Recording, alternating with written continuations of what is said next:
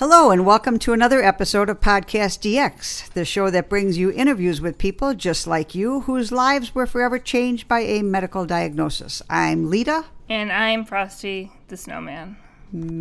Okay. Ron is off scuba diving this week, and collectively we are the hosts of Podcast DX. On today's show, we are talking about winter safety. Oh, yes, winter safety. Uh, well, since it's almost winter time here in the Midwest, it's a pretty important topic. So let me start by giving a definition of hypothermia according to the Mayo Clinic. Okay. Hypothermia is a potentially dangerous drop in body temperature, usually caused by prolonged exposure to cold temperatures. The risk of cold exposure increases as the winter months arrive. But if you're exposed to cold temperatures on a spring hike or a capsized boat, you can still be at risk of hypothermia. Normal body temperature averages 98.6 degrees. With hypothermia, core body temperature drops below 95 degrees. In severe hypothermia, core body temperature can drop to 82 degrees or lower. Chilly. Well, after doing some research on the topic, um, you know just how dangerous hypothermia can be. For instance, it turns out that the time Yeah? it takes from falling into a frozen lake and becoming unconscious can be less than 15 minutes. Okay. And even in warmer wet water, you can have hypothermia. Only in water temps above 80 degrees um, can you actually survive for more than four hours. Okay. And they say um, indefinitely, but I don't think people really are Know what the staying in the record was? water. Right. And I think it would eventually affect your skin. Okay. Uh, well, let's cover some of the symptoms of hypothermia right after you go and get Gigi a cookie, another handful of cookies. That's a great idea. Hypothermia symptoms may include shivering, and the shivering can be pretty intense, although it may stop after the body temperature drops to a certain level. You may suffer from slurred speech, mumbling, small or slow, shallow breathing, a um, clumsiness, weakened pulse. Uh, you might have a lack of coordination, feel drowsy or tired. Um, you may suffer from some memory loss or have confusion. You may even lose consciousness, and an infants, bright red, cold skin is an indicator of hypothermia. Okay. And what do you do if you if you have it or you see somebody that has these symptoms? Call 911. But first, let's talk about what not to do.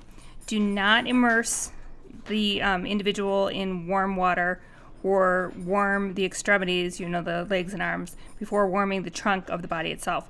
And do not administer alcohol or cigarettes to help warm the person. That does not work. Okay. Um, so, yeah, when in doubt, Okay. And what should you do? call 911 or your local emergency services. Okay. And if you can move the person inside or at least out of um, the wind, if uh, the sun is out, you might want to move them into the sun, insulate them, or keep them off of the ground because that'll leach cold or leach more heat from the body, and protect the head and the neck area if it's windy, and remove um, wet clothing if they're in wet clothing, replace with warm, dry clothing or blankets. Okay. And if it becomes necessary and you are qualified to do so, perform CPR.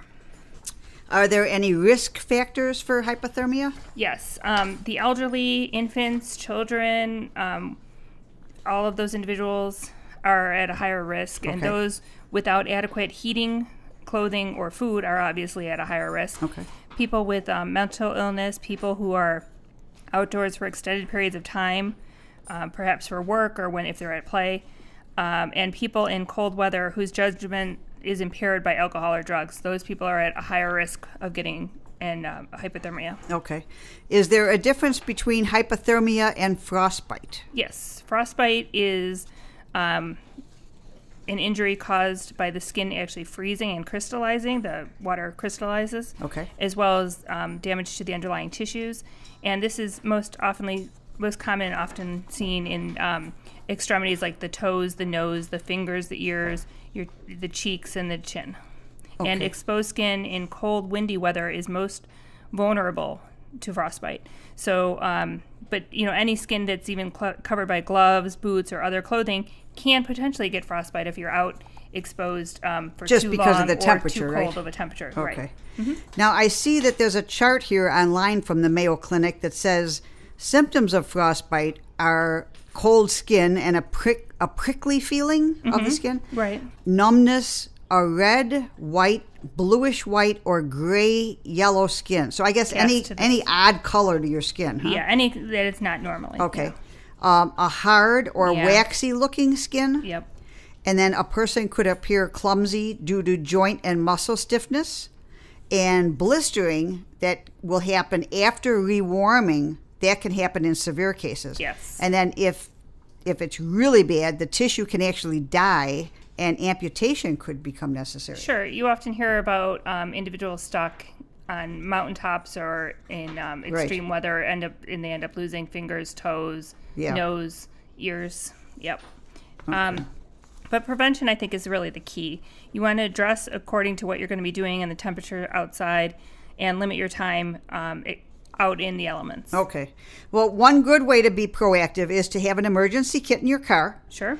Uh, in the winter, you should have a bag of salt or sand to help with traction if you're stuck on ice. You should keep your gas tank at least half full to avoid ice in the lines. You should have a flashlight with batteries. You should have blankets and extra winter clothing. An ice scraper with a snow brush to clear the uh, windows. Right. Um, cloth or paper towels to help clear the windows if they get smeared up. You got to be able to see Yeah.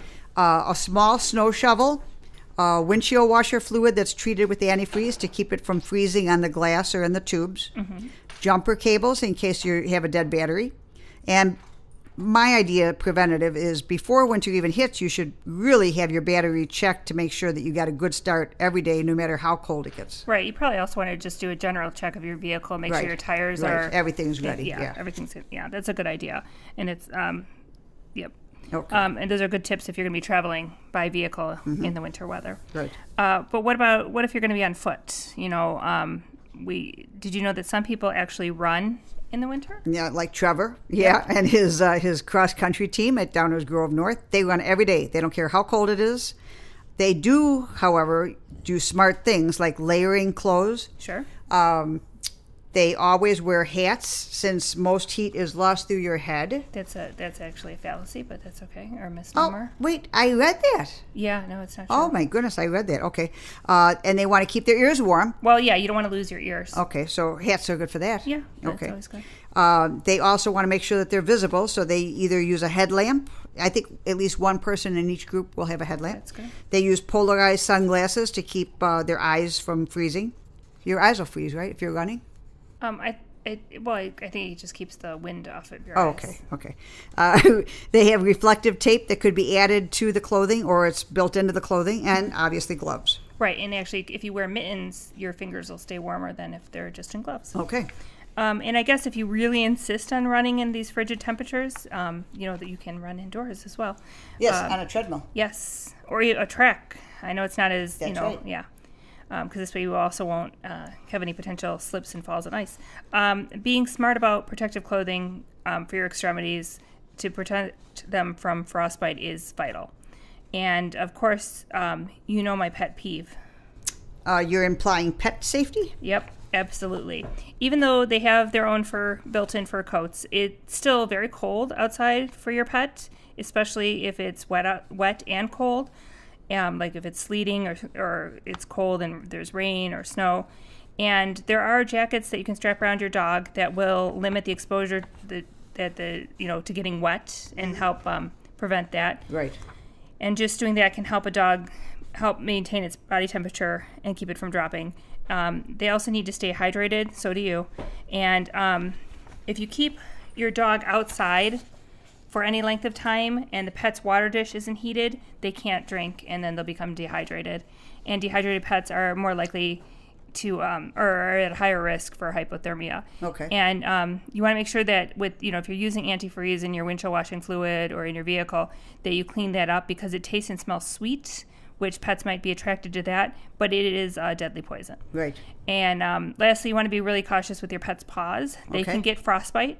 Just Okay. and also they can um, crack and bleed because of the you know cold dry air. So you want to make sure you take extra care with them, and um, just remember, dogs have been bred for centuries for specific traits and taken out of their native land and native area. That's why they're not called wolves anymore. Right. So, um, yeah, they're not made to fend for themselves or live outdoors on their own. They don't have the rough coats. They, yeah, well, there they're- some dogs they have double coats, but still, But yeah. yeah. but we have breeds of dogs here in the United States from areas that they are not native to. So some dogs you have to be especially careful that they don't overheat in the summer, Right. And other dogs you have to make, be careful that they don't Get too freeze cold, right. in the cold. Yeah, dogs are not meant to be left outside. They are no longer wild animals.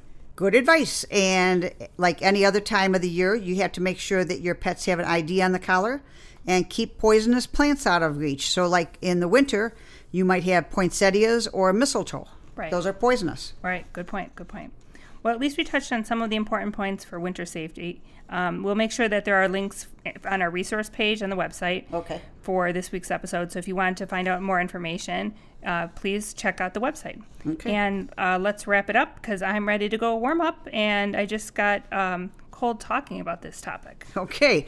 Well, if our listeners have any questions or comments related to today's show, they can contact us always at podcastdx at yahoo.com, through our website, podcastdx.com, on Facebook, Twitter, Pinterest, or Instagram. Yeah, Siri, subscribe to Podcast DX. Right. Um, and if you have a moment to spare, please give us a review wherever you get your podcasts. We'd like to know what you think. And as always, please keep in mind that this podcast is not intended to be a substitute for professional medical advice, diagnosis, or treatment. Always seek the advice of your physician or other qualified healthcare provider with any questions you may have regarding a medical condition or treatment and before undertaking a new healthcare regime. And never disregard professional medical advice or delay in seeking it because of something you have heard on this podcast. And until next week.